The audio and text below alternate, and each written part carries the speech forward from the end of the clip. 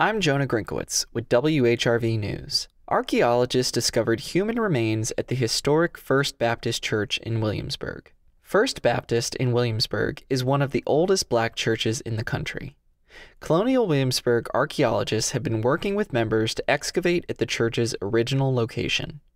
After finding grave shafts in November, they expanded their digging to the surrounding area. So far, we have found one uh, human tooth and one probable human finger bone. Jack Gary is the lead archaeologist on the team. He says they're working with the Institute for Human Biology at William and Mary to confirm the bone fragments are human. Connie Harshaw runs the Let Freedom Ring Foundation. They raise money to research First Baptist history. She's hopeful that DNA from the bone fragments can help them identify the remains. At the end of the day, we want to find out who they are and, if possible, connect any surviving descendants to those burials. That could be a long ways off. Jonah Grinkewitz, WHRV News.